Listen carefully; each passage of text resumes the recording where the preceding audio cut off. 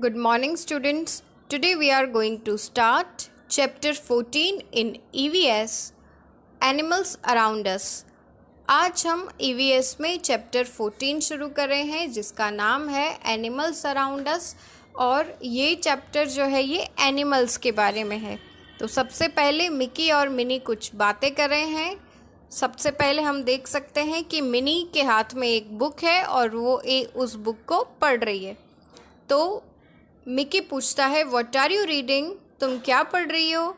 तो मिनी कहती है I am reading a book on animals यानी कि एनिमल्स के ऊपर एक बुक है, मैं वही पढ़ रही हूँ। तो मिकी कहता है our planet Earth is full of different types of animals यानी कि जो हमारी अर्थ है, इस पर अलग अलग तरीके के एनिमल्स हैं। तो मिनी कहती है can you tell me more about these amazing creatures यानी कि, क्या तुम मुझे उनके बारे में और ज़्यादा बता सकते हो? तो मिकी कहता है sure I will first try this exercise यानी कि, मैं ज़रूर बताऊँगा, लेकिन उससे पहले ये जो एक्सरसाइज है, इसे सॉल्व करो. Pave the way put a tick on the animals that we see around us and cross on the ones which we don't यानी कि जो एनिमल्स हमारे आसपास हम देखते हैं, उन पर हमें टिक करना है और जिन एनिमल्स को हम अपने आसपास नहीं देखते, उन पर हमें क्रॉस करना है। सबसे पहले है काऊ तो काऊ हमारे आसपास होती है। नेक्स्ट जो है, ये क्या है? ये एक लायन है। तो क्या लायन हमारे आसपास होता है? No no. फिर है हॉर्स तो हॉर्स को भी हम कभी कभार अपने आसपास देख लेते हैं। फिर है कैट कैट भी होती है डॉग भी होता है शीप भी होता है मंकी भी होता है, लेकिन क्या नहीं होता? Giraffe types of animals first is domestic animals. Animals that live in or near our house are called domestic animals. Cow, dog, cat, sheep, horse, etc. are all domestic animals. Domestic animals include pet and farm animals. यानी कि यहाँ पर हमें अलग अलग animals के types दिए हैं सबसे पहले है डोमेस्टिक एनिमल्स तो जो एनिमल्स हमारे घर के अंदर या फिर हमारे घर के आसपास रहते हैं, उन्हें हम डोमेस्टिक एनिमल्स कहते हैं। डोमेस्टिक एनिमल्स में हम इंक्लूड करते हैं काऊ डॉग कैट शीप और हॉर्स को। ये सभी डोमेस्टिक एनिमल्स होते हैं और डोमेस्टिक एनिमल्स के अंदर ही पेट और फार्म एनिमल्स को भी इंक्लूड किया जाता है। उसके बाद है pet animals pet animals live with us in our homes they may not be of any use to us dog parrot fish cat are some examples of our common pets we keep them for company यानी कि domestic animals के बाद हमें यहाँ पे pet animals के बारे में दिया है। पेट एनिमल्स यानी ऐसे एनिमल्स जिनको हम अपने घर के अंदर रखते हैं। ये जो एनिमल्स होते हैं, ये हमें कंपनी देते हैं। जैसे कि डॉग, कैट, पैरट, फ़िश, ये सभी पेट एनिमल्स हैं। Next is farm animals. We keep some animals at farms because they are useful to us cow sheep hen horse are some farm animals यानी कि कुछ एक ऐसे एनिमल्स होते हैं जो हमें यूज़फुल होते हैं, जिनके ज़रिए लोग अलग अलग जो है, काम कर सकते हैं।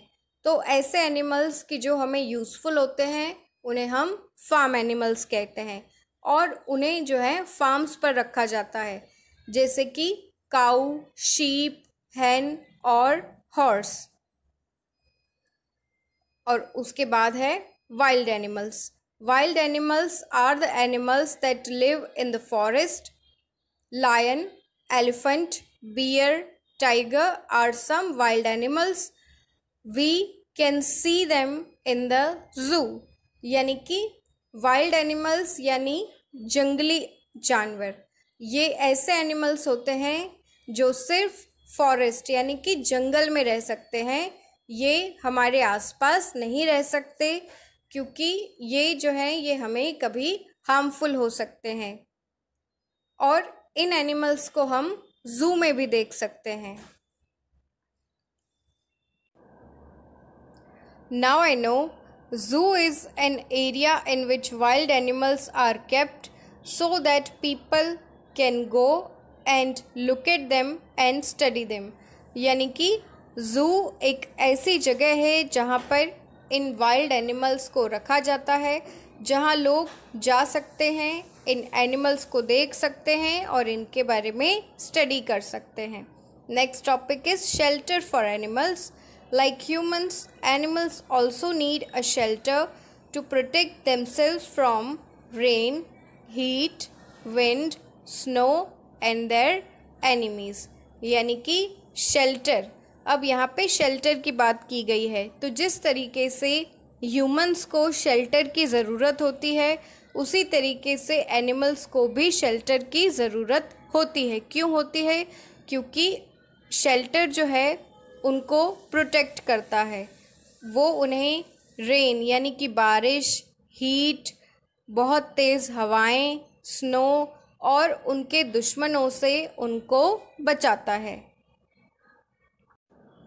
Wild animals live in their natural shelters यानी कि वाइल्ड एनिमल्स अपने नेचुरल शेल्टर्स में रहते हैं, जैसे कि मंकीज़ लिव ऑन ट्रीज यानी कि मंकीज़ जो है वो पेड़ों पर रहते हैं।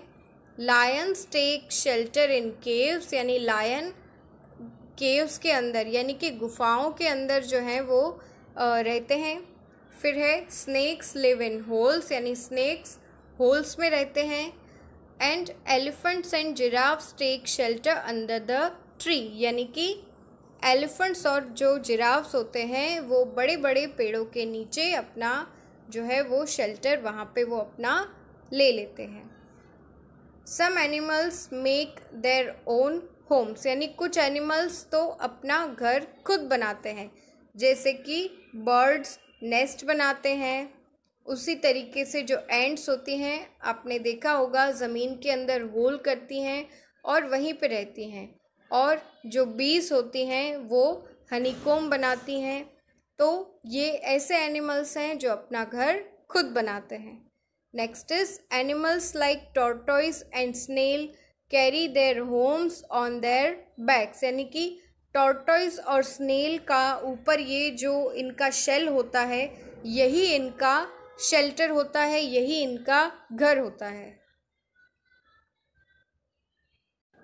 Pet and farm animals live in man made homes यानी कि पेट और फार्म एनिमल्स जो होते हैं, वो मैन मेड होम्स में रहते हैं। मैन मेड होम्स यानी कि जो शेल्टर उनको बना के दिया जाता है, उसमें रहते हैं। यहाँ पे आप देख सकते हैं कि काऊ लिव इन शेड ये शेड बनाया गया है काउस के लिए। फिर है dog live in a kennel. ये एक छोटा सा होम जैसा है, इसे कैनल कहते हैं। Horse live in stable hens live in a coop. Time to pause, animals make different kinds of sounds. Can you match the animal to the sounds that they made? तो यहाँ पर अलग अलग एनिमल्स के sound दिए हैं और हमें उसे सही एनिमल से मैच करना है। तो सबसे पहले क्या है? लायन लायन क्या करता है? लायन रोअर्स फिर है स्पैरो वो क्या करती है? Chirps dog barks cat mews and horse neighs food for animals different animals eat different types of food.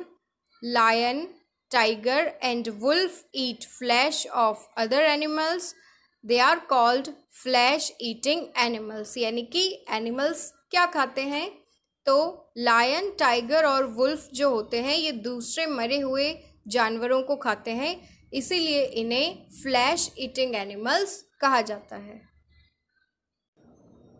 Cow, goat and zebra eat plants and their parts. They are called plant eating animals यानी कि cow goat और zebra जो होते हैं, ये plants खाते हैं।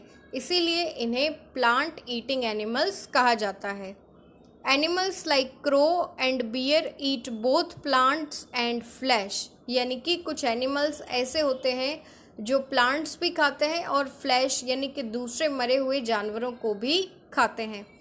तो ऐसे एनिमल्स हैं बियर और crow next is hen and squirrel eat grains and nuts यानी कि हैन और स्क्विरल नट्स और ग्रेन्स खाते हैं।